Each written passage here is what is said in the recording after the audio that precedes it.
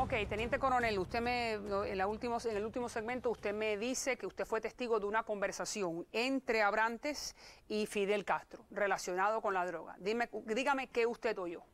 Mira, eh, en el tercer piso de Palacio, donde Fidel tiene el despacho, eh, hay una antesala que es donde estábamos los, los escoltas que estábamos allí, que era que siempre estaba el jefe de la escolta, el médico y yo.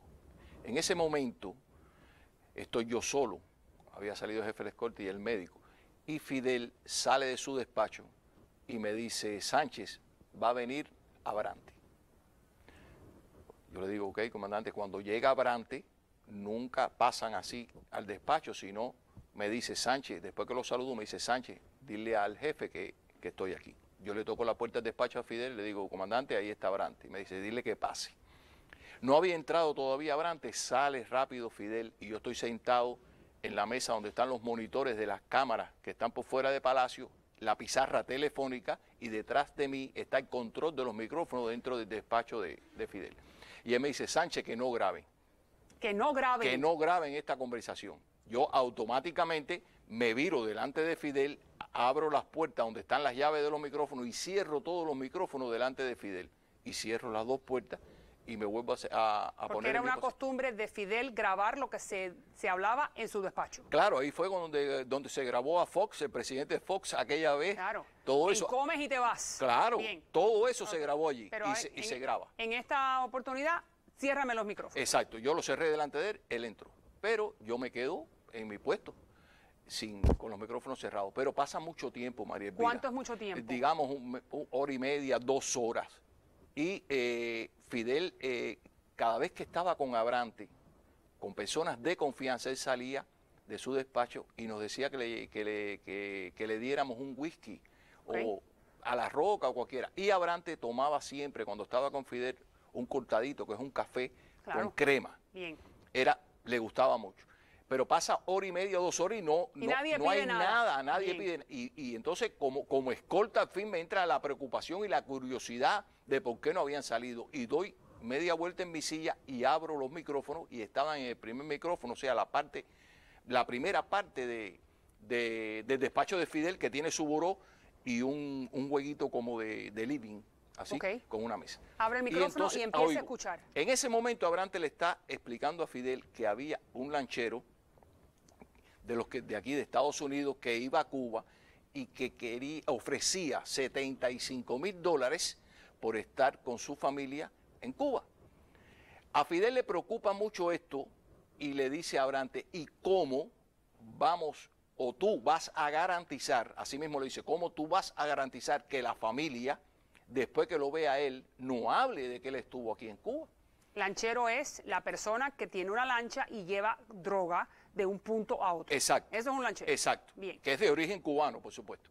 Entonces, eh, Abrante le explica, dice, no, comandante, eh, hemos hecho un plan, que el plan es que eh, hacerle saber a la familia de que, este, de que este lanchero es un agente de la seguridad infiltrado en Estados Unidos y por tanto no pueden hablar acerca de, de su estancia en Cuba porque puede peligrar la vida y la libertad de su ser querido. Y aparte de eso, le vamos a montar un sistema de seguridad con hombres de, nosotros, del Ministerio Interior, le dijo, para que lo protegieran.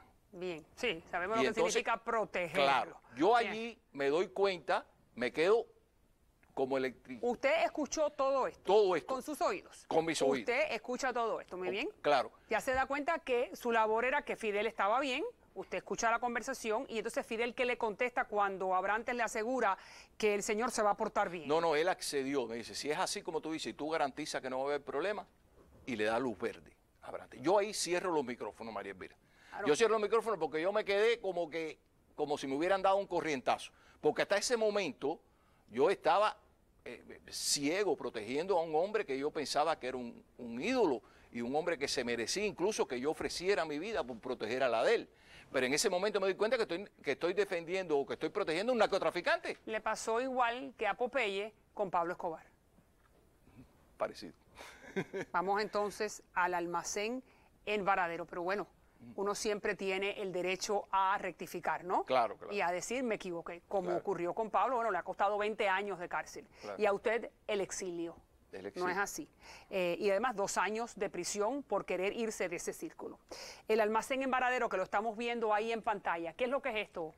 Me- eso Coronel. es, eh, yo te voy a decir muy rapidito, yo visité antes de la causa 1 y 2, como en dos o tres ocasiones, este almacén con Fidel Castro, siendo miembro de la escolta. La escolta se quedaba detrás y yo que llevaba su diario, sí entraba hasta las puertas del almacén. Dentro del almacén nunca entró Fidel, pero en las puertas del almacén, donde Abrante le enseña las cajas de tabaco y las cajas de ron a Habana Club, que supuestamente era lo que venía de contrabando para Estados Unidos. Bien. ¿Qué sucede con esto?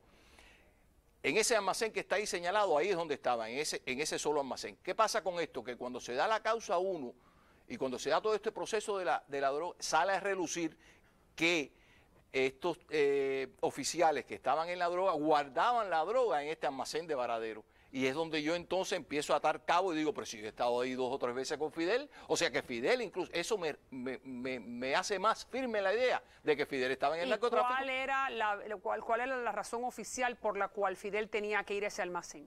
Mira, esa razón no, no la, no la sé. O sea, yo no ¿Él sé. iba que, a visitar? No sé lo que. ¿Ustedes lo acompañaban? ¿Cuál era la actividad de él en ese almacén? No, eh, Abrante le estaba explicando lo que te estaba diciendo yo, que ese era el almacén donde ellos estaban guardando estas cosas que venían supuestamente de contrabando. Después sale en la causa 2 que ahí lo que venía para Estados Unidos era la droga. Popeye dice que García Márquez, usted lo escuchó, sirvió de mensajero entre Fidel y Pablo Escobar, que Pablo, el patrón, le da una carta bien gruesa, lo envía a México y ahí es donde se encuentra con García Márquez en el aeropuerto. ¿Usted cree que eso pudo haber sido cierto? Que Mira. García Márquez era el enviado de Pablo con Fidel. Mira, yo, eh, o sea, no, no lo puedo eh, afirmar categóricamente, pero tampoco lo niego.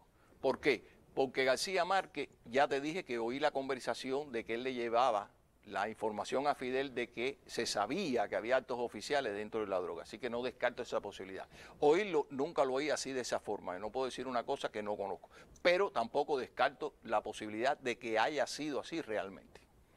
¿Y por qué no la descarta?